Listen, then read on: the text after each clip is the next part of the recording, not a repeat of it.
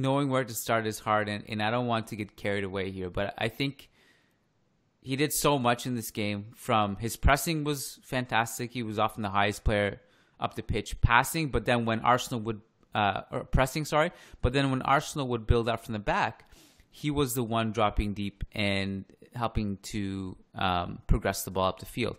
He he was sprinting everywhere without the ball. He was kind of just doing that thing where he channels Lacazette and and and Saka just to be in the right spots defensively without the ball. And um, he was a constant outlet. This is one of those things that he always does. Is like always showing between the lines, pouncing on opponents' heavy touches defensively, like just always being aware on when he can intercept passes and just dispossess players. Dribbling was very good. Um, and especially as the game wore on, like especially in the second half, everything went through him. Like he was like the point guard. He was like everything goes through him. Everyone looks for him on every possession. He dribbles past multiple players. He plays through passes, and he's press resistant as always. Again, like just just great. And then he was involved in obviously the goals in some capacity. Key pass or hockey passes, hockey assists on two of them. And there was one in the 86th minute and this kind of was a trend to me because like one of the things with Odegaard Real Sociedad was that he would refuse to play the easy pass. So like if there's a pass on, he just kind of doesn't really want to hit that pass because he's like, let me see if I can find something better. And um, there was one in the 86th minute that I thought he played a pass that no one saw. Like if, if you if you freeze framed it even on the TV, and like I if I looked at it for like just stared at it, I wouldn't have even seen that pass and he finds the pass. And um, just again, his touches, his passing, everything was great. So I thought, uh, again, it wasn't necessarily easy early on. Like they were down three goals, and and uh, they had a bit of tr- uh, trouble struggling to build up facing West Ham's kind of mid block and their zonal press, but they grew into it and um, they got themselves out of a hole. They didn't win, but this was an awesome Odegaard performance. I thoroughly enjoyed it.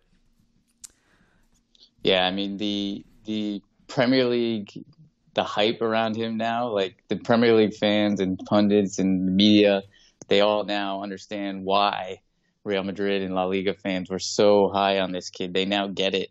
Uh, and there's a good stat after the game that Odegaard completed seven passes into the box in open play today, the most by any Arsenal player in a single game this season.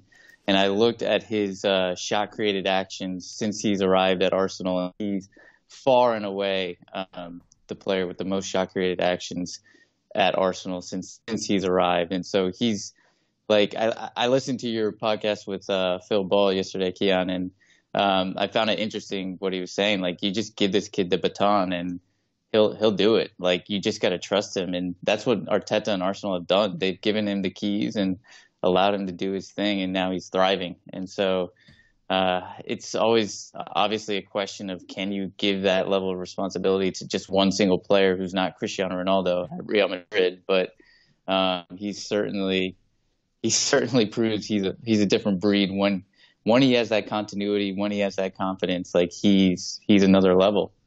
Well, part of the reason, like I, I asked Phil a question, like with a lot of intent behind that question, to just get an answer publicly from somebody who knows him on some level. Like he type type person that saw Odegaard regularly. Uh, they lived in the same neighborhood. His his, his son um, played some football with him at, at some point. I don't. So but there's like a tight knit community. And uh, I wanted to like ask, like, what do you say, like, to people who? Because like I was reading the replies to your tweet. Uh, yeah. I don't know, like, and you had several tweets. I don't know exactly which one it was, but the one something about it was obviously something about Odegaard praise or something. That he's oh, I, good enough to be good enough to important member of Real Madrid. Oh, that's right. yeah, yeah, yeah. That he's the best player at Arsenal, and then people are like, "Oh, well, Kroos and Modric, you're not going to replace Kroos and Modric." Well, the thing is, it was so there was there was people who said that, then there was people who still somehow go at his character because of like labeling him impatient. Um, there's also a faction like just because like oh the the ones who say you can do it at Arsenal, but you can't do it at Real Madrid. I, yeah, you know, we've had yeah. this discussion. Like we've seen all of the starters that Real Madrid have had in the past who play heavy minutes over the years who are far inferior to Martin Odegaard. So I don't like that argument at all. Like I just yeah. like it, it's it's also belittling to to the, to the other clubs. And I'm not saying Arsenal is a great club right now or it's a big club or anything, but like look, they're not they're not playing.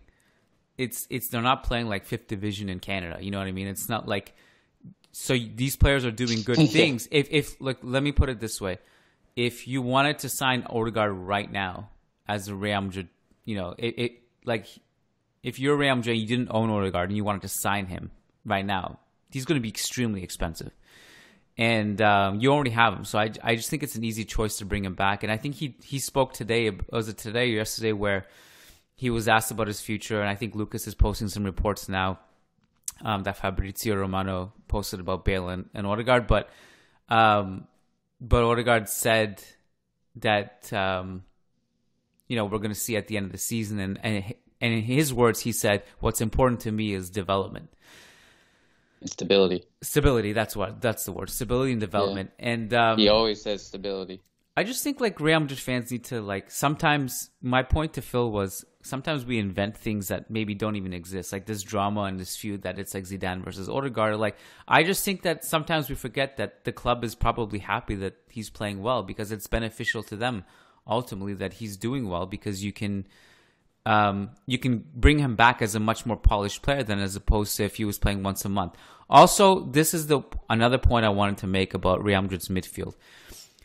I absolutely do not deny the greatness of Modric and Kroos. You know, every podcast is just us swooning about those two. Uh, but Modric does slow down. You know, every few games he has games where he just looks like he just needs to sit down for a second and maybe save himself for the apex of the season certainly those are games that Odegaard can play. Also, there's a there's a there's a variable in Zidane's lineups in that there are three sure starters in the midfield, but the fourth one is a huge variable. It can either be a right winger, which Odegaard can play, but it can also be a diamond, which Odegaard can play. It can be a fourth central midfielder, which Odegaard can play. He can play all three of those roles. And um, and even if he doesn't start every time in that fourth role, he can certainly play heavy minutes in that. So I, I just you know I don't deny that he's not as good as Modric and Kroos. I don't dispute that, but I'm just saying like just because that is that is a fact doesn't mean he doesn't have a place. Yeah, that's that's nailed on, and I think the one other thing too, which you kind of touched on there, is he if Real Madrid were to buy him, he'd be really expensive. So, assuming that Isco leaves in the summer because he has one year left on his contract, and the way he's been treated, everything points to the fact that he wants to leave. So assuming Isco leaves, you have four midfielders in the squad. So even if you sell Odegaard, you're going to have to pay insane money to get a quality replacement, money which we don't have. So you might as well keep one of the best young players in the world. It just doesn't make sense for Real Madrid to sell him. Now, obviously, Odegaard's going to have a say, and I think that's what worries me more than anything is what Odegaard wants. But he's been vocal in the past about saying his dream is to start and play for Real Madrid and win La Liga with Real Madrid. So I think as long as he's given a plan and given reassurance, I think he'd be okay with the stability of staying at Madrid for a decade. But that being said, he probably doesn't have much confidence in Madrid after this summer with some of the promises they likely made and then didn't fulfill. So uh, it'll definitely be interesting to see. But I, I find it interesting that he keeps bringing up stability. He I think he's sick of moving around. I think he just wants to stay in one spot now. Yeah, and that's fair. Like, and that's the other thing. Like, he, he's on his fourth year loan now, in a row, and we have the audacity to call him him impatient for that. This is four years of we're just throwing him around different teams, and yeah. And the other thing is, I wanted to bring in Haaland into this discussion for a second, which, um, it's a possibly a straw man argument. I, I, but I just want to bring him in discussion for the sake of a point. Um, Haaland has said t- I I don't know if it was today or yesterday where he said he was asked like where his future team is going to be and he said I don't know but there's one condition who that team has to want me and um and I just think like if you're Real Madrid and it, and you want Haaland can you guarantee him a starting position can you and I just have to. Well, I know, but but where? Tell me where. That's that's my question. Like, yeah. So, in almost any other team in the world, he's starting every single game.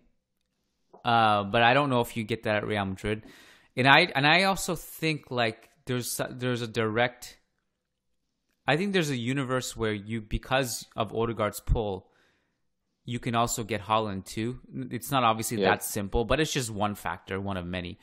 But um, I just think that there's a universe where you can have both, and there's also a universe where you don't have either because uh, you just gotta, you just, you might get this wrong, and I'm just a little bit worried about that. Well, yeah, Because this is not to And me. This is not. Sorry, Matt. One more thing. This is not Yeah, the yeah. same as as you missed out on Achraf or you missed out on Kovacic.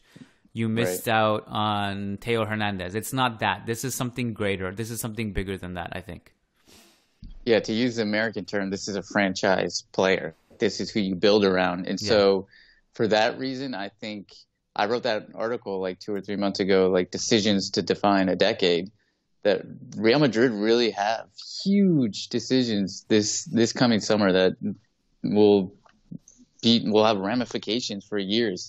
And I think part of that is the Odegaard Haaland thing. Like you can use that duo and you can completely reshape this team uh, to play to their strengths and build around them. But that means you're going to have to maybe cut ties with some legends and maybe completely reshape the formation and reshape the playing style. And it, does that mean you depart? Does, does that mean you part ways with Zidane, or do you keep him and have him kind of buy into this new philosophy? Like that's the type of decisions that have to be made. And I think for a guy like Haaland, who is a franchise player, like if you're purchasing him, you're playing him to start him, and you're building around him. So people got to go, and the formation's got to change. That's just the way it is. You're you're building a new team.